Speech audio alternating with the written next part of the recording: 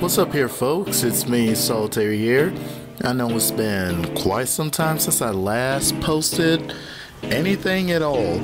Like in a couple of months, been pretty busy with work and especially the documentary that I'm pretty much starting to work on. It's been consuming a lot of my time at the moment, so I'm gonna let everyone know I am back.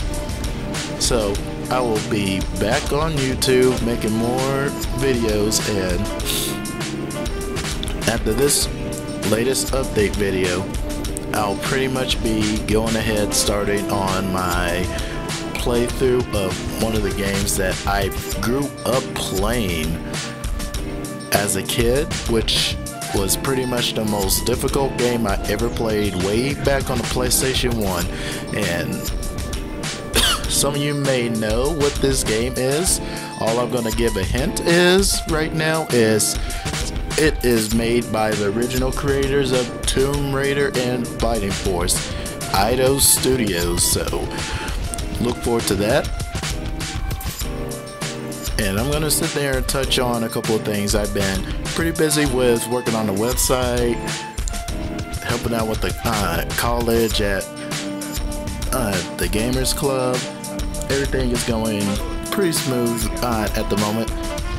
Right now, I am the vice president of the club, so hoping to be able to get some more folks in to sit there and uh, join the club, get some brand new faces, and soon around March the 8th, I will be going to the Gaming Expo in Austin. So if any of you guys are going to the Gaming Expo, hope to see you there and I'm gonna sit there and just have some fun. Hopefully, I hear I hear rumors at the moment that there is tournaments going on. The only things I know right now is just Dota 2, uh, League of Legends, stuff like that. But rumors right now, all I just hear there may be a couple of uh, fighting game tournaments. So I'm crossing my fingers, hoping that I see a couple of fighting game tournaments so I can sit there represent. And to Bon Inc. and the rest of the guys, I'll be talking to you guys real soon. It is great to be back at the moment. I don't know if you can tell, it feels like, yeah, I'm losing my voice. I've pretty much been having sinuses lately, so forgive me, folks, if my voice sounds a little scratchy or it's giving out at times.